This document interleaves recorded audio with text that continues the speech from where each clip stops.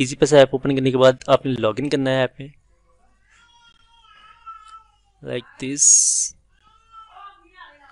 Login ये देखें login हो गया। इसके बाद आपने व्यू ऑल पे क्लिक करना है।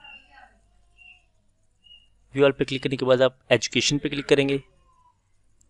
और यहाँ से आप वर्चुअल यूनिवर्सिटी सेलेक्ट करोगे। यहाँ पे आप अपना आईडी दोगे, चलाना आईडी जो कि मेरा one zero double one three double eight one है। आपका जो भी होगा, आप वो दोगे। चलाना आईडी देने के बाद आप कैट बिल पे क्लिक करोगे।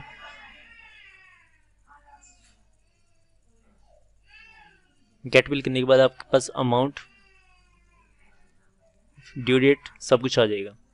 यहाँ पे आपने पे पे क्लिक कर देना है, और आपके पास कन्फर्मेशन स्क्रीन आएगी।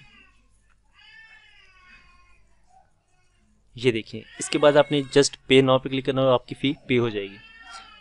एक बात ध्यान रखें, याद रखें कि जो चलान आईडी होगा वो आपने एग्जैक्ट एक दफ़ा देख लेना है, बल्कि दो दफ़ा देख लेना कि आपका अपना वही है जो आपकी फ़ी पे चलान आईडी है, क्योंकि किसी और की फ़ी पे पे ना हो जाए।